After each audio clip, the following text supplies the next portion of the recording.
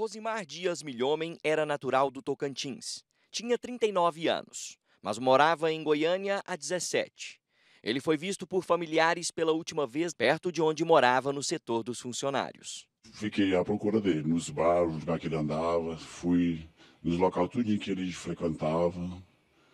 Todos os lugares que, que, ele, que, eu, que eu sabia que ele frequentava, eu tive lá procurei, mostrei fotos, lugar aqui, lugar aqui embaixo, até no setor São Francisco, onde ele teve na semana anterior, fui lá também, mas ele não, não teve lá.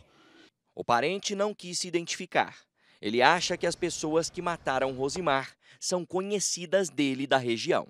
A suspeita que, que seja da região. É porque ele foi encontrado longe, lá aquele lugar que ele não ia sozinho para aquele local lá. Na, na, verdade, eles fizeram a maldade, tiraram a vida do meu irmão e jogaram naquele local lá, para sumir com o corpo, para não deixar nenhum uma prova para ninguém ficar impune, entendeu? Nunca achar ele. O Rosimar vivia lá no setor dos funcionários. Mas o corpo dele foi encontrado aqui próximo à Avenida Ayanguera. Estamos em Campinas, bem aqui no local onde dá acesso ao córrego Cascavel. Aqui é a ponte da Anguera que passa sobre o Cascavel. E aqui nesse ponto Inclusive, os comerciantes e moradores aqui da região denunciam que usuários de drogas utilizam esse local para vir usar drogas, para esconder coisas, produto de furto, produto de roubo, para cometer todo tipo de ilícito.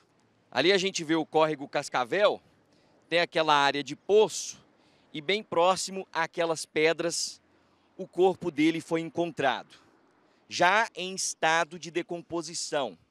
Ele estava com a camiseta que vestia rasgada, só tinha um pedaço do pano nela, e também ele estava sem a bermuda, descalço, somente de cueca. Ele andava com uma muleta, porque uma perna era menor que a outra, ele era deficiente, e ele também andava de bicicleta, e com essa muleta quando precisava apoiar. Não foram encontrados com ele a bicicleta, a muleta, nem o celular, somente uma carteira com o documento. No laudo médico saiu, a causa da morte foi traumatismo craniano encefálico. Bateram muito, estourou a cabeça do meu irmão. Foi a maior covardia. E meu irmão não me disse isso não, que era meu irmão era, era indefeso, era deficiente.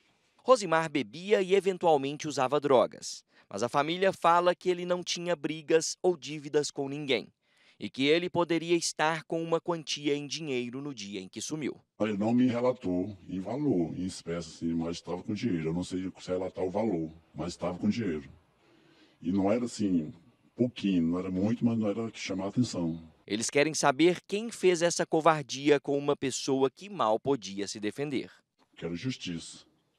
Justiça porque meu irmão não mereceu aquele, morrer daquela forma lá não, sabe? Aquilo nem com animal, o pior animal não faz o que fizer com meu irmão.